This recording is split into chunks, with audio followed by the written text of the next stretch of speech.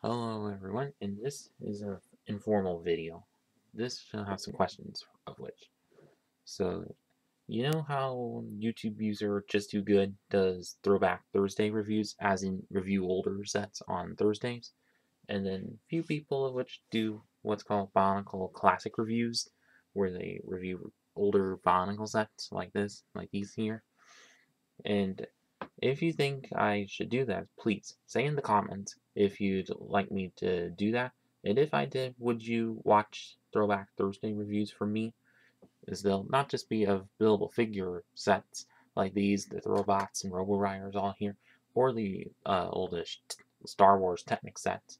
They can also be like older system sets of Star Wars or anything that I can get off of Bricklink and all. And if you think, if you all agree that if it, I should read that, so if I did that, will you watch them? Please tell me out.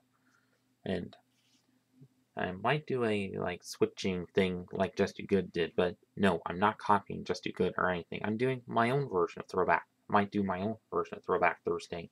Because so please. And thanks for some help if you've already commented.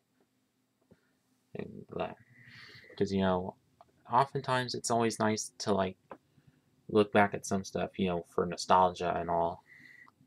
And if you're if you agree that I should do throwback Thursday then thank you. And if you want to see some throwback Thursday thank you so much. And and that's about it with this video and I look forward to your feedback in the comments and please like and subscribe and thanks for watching